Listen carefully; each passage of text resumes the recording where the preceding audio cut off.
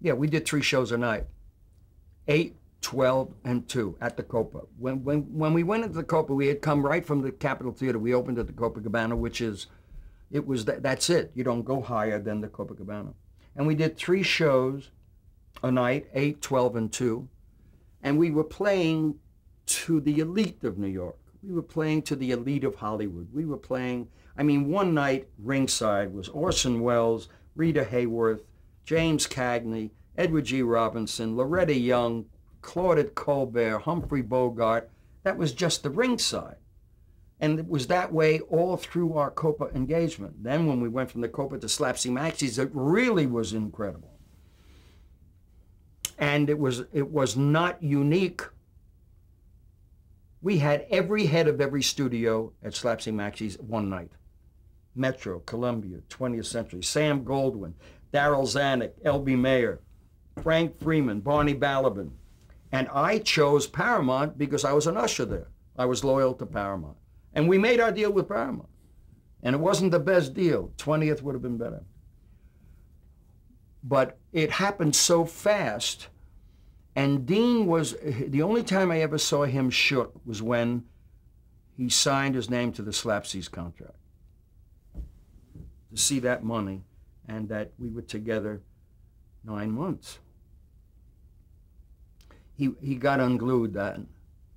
Slapsy Maxie's was the premier nightclub in Hollywood, with the exception of Ciro's, Mocambo. They were, they were fine, but Slapsy's was a room that sat 1,800 people. And everyone in Hollywood was there every night. They were getting phone calls with offering to the head waiter 200, 300 for a table.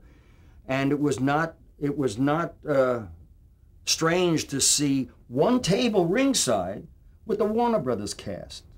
The whole studio, Bette Davis and Humphrey Bogart and James Cagney, the Warner people, Dennis Morgan, Joan Leslie, all at, they called up and Warner's bought a table and put all their stars there because the photographs and the news cameras and the things that were going on was important to studios to have them seen with Martin and Lewis, for Christ's sakes, who nobody knew three months before.